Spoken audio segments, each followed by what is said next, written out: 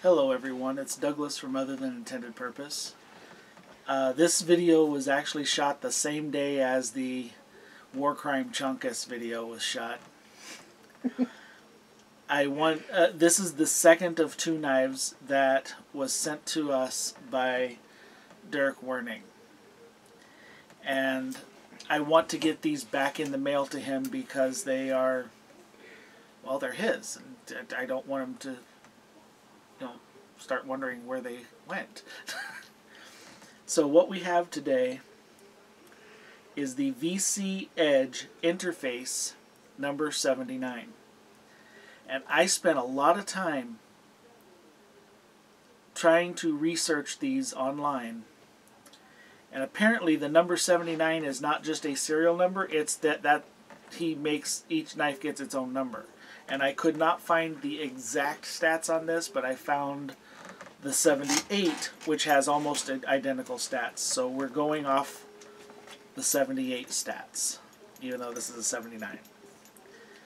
Say VC Edge Interface is the name, VC Edge is the company. It has a 3.6 inch carbon fiber blade with a M390 cutting edge insert. It has carbon fiber scales and the pocket clip and I believe most of the hardware on this including the uh, the backspacer are titanium. There's a very very little bit of steel in the locking mechanism the rest of this is carbon fiber. The the blade insert is this is fat carbon with with M390 steel. This weighs 1.55 ounces. This is the anti-chunker. to say that I opened that box and was like, wow, these are extremes. now, it, it does have small pieces of steel for the liner lock, but they're they're not full length on the scales. They're just enough to make the lock. And this thing does not weigh anything. I'm I'm sitting here holding it and it feels fake. Except it's really really not fake. this is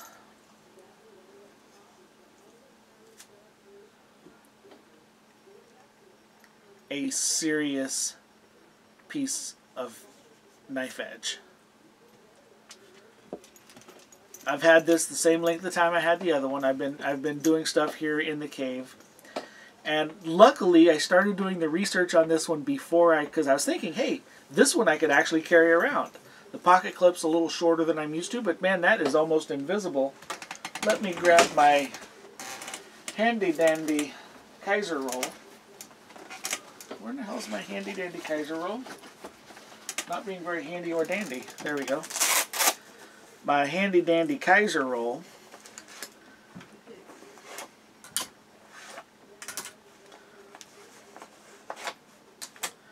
I need to get another one of these because I, I, I like Kaisers and I keep getting more Kaisers and they don't fit now. this is supposed to hold three knives. It holds five knives. But once you've got that in your pocket, fairly disappears. And because of the weight of it, once it's in your pocket, you forget you're carrying it. But I was thinking to myself when I was looking at it, I was like, wow, this one I could wear, carry around town, use for some stuff. And then I, I started doing the research on it. I hope you're sitting down. I'm going to sit down now because I don't want to be standing up when I say this. $3,300. That's a big fat nope for me. this knife cuts like a dream. Now, I again, I did not take this apart because, well, I didn't want to risk screwing it up. But I did use it for cutting quite a bit of stuff here in the cave. Um, the entire time, I mean, it it is still sharp enough To give him a bald spot. Yeah, I just I just took hair off my arm and a little bit of skin. Don't worry, I'll wipe it down before I send it back. There we go. It's all pretty again. But I have used this here in the cave for cutting several different things, including a little bit of food, but it was it was dry food. It wasn't stuff that was going to get it wet. I wouldn't do that. And I can honestly say that this goes the the the geometry on this blade it is so thin behind the edge. And the transition from the M390 to the car the, to the fat carbon is so flawlessly smooth. This went through like a freaking scalpel. It comes down to an extremely extremely fine point when you close it. Uh, it is smooth enough that it should be drop shutty. The blade does not have enough weight to make it drop. You have to kind of wiggle it to make it drop. But this thing, as it should be for the for the price, is dead centered. There is absolutely no blade play, no rock, no twist, nothing up and down, nothing side to side. The lockup on it this is a frame lock, not a liner lock. Liner locks you expect to see 40 to 50%. For a flame, flame lock,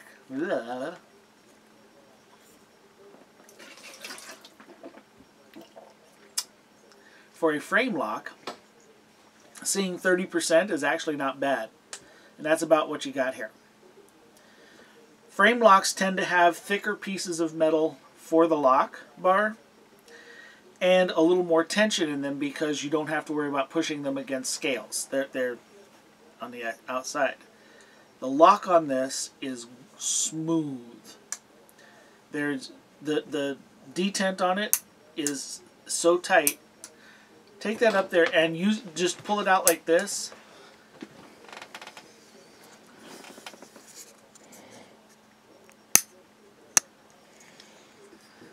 Sounds like you're how many how many how many knives how many knives have you ever had that the detent sounded as crisp as the lockup?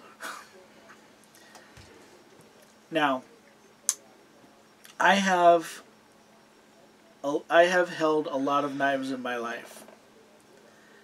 I have never had one this size, this light, and every single piece of it is made to perfection. The machining on this is beautiful. The the edges are rolled just perfectly. I mean, if you go to the inside, you're going to feel a little bit of an angle, but even there it's chamfered just slightly. But the edges are rolled so much that you grab, grab this as tight as you can and squeeze, and there is zero hot spots. You can barely even feel that it's in your hand. When you have it open to cut, bring back the cutting board. When you have it open to cut and you're trying to do the, the push cuts, there is there's no rock in your hand. There's there it's very solid grip. I am very rarely speechless. And when I first took this knife out and, and looked at it, I was speechless. And then when I saw what it cost, I was speechless and afraid to touch it for a day. I made sure to clean my hands every time I picked it up so I wouldn't smudge it. But this is one that, to a certain extent, at least in my realm of reality, this falls into that same category as being more art. It's just a more functional piece of art. And the reason I say that it's more art is because I would legitimately be concerned with the way I, I use my knives. I use my knives hard. I expect my knives to cut things. I expect my knives to get dirty and wet. I expect my knives to sit in my back pocket while I'm sitting in my wheelchair. I would be afraid of scratching it.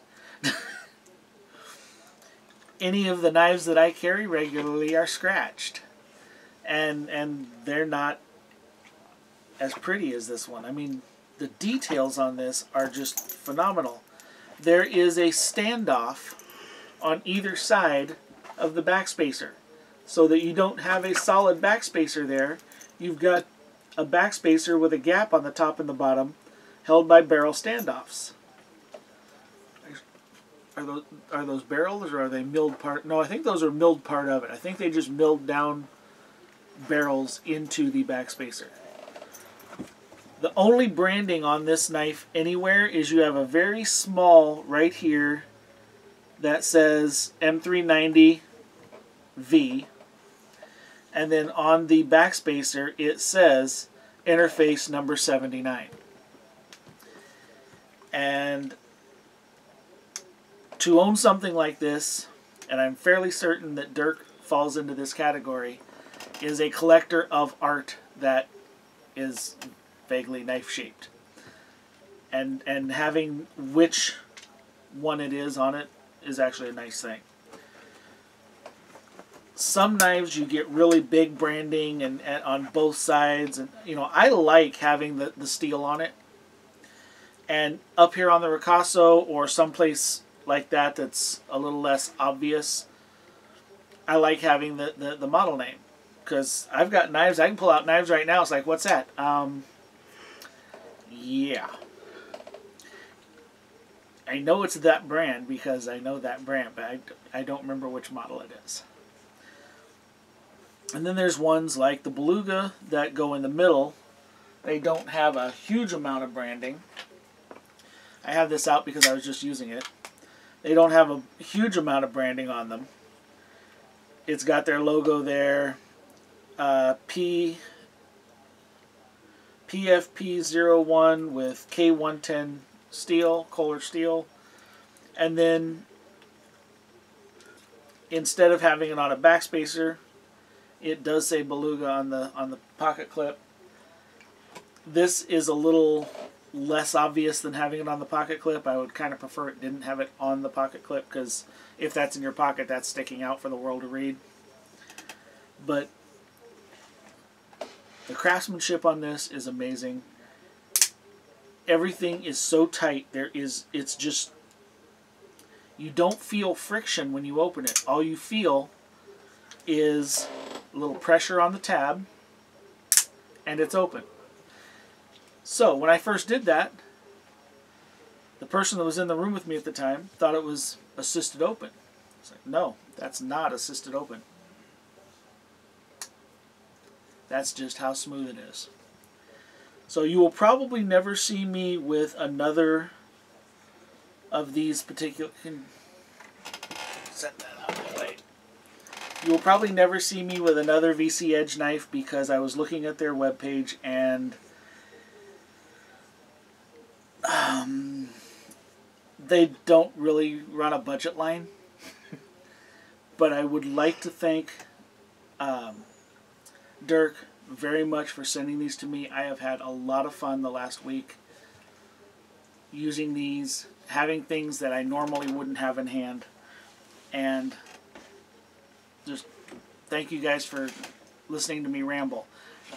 Wasn't as much of a review of, of testing knife because, well, I, I didn't want to hurt it, so I didn't do any argues. So remember, best skill or best tools in the world don't do any good unless you have the skills to work with them. So get out in the woods and practice. Enjoy yourself, enjoy nature. Do something kind for someone. It doesn't have to be big, it doesn't have to be expensive, and it certainly doesn't have to be, you know, something that would negatively impact yourself. Just something small to bring a smile to someone's face. Be up. Remember, Choo Choo's with us all the time. You guys have a good evening. Good night.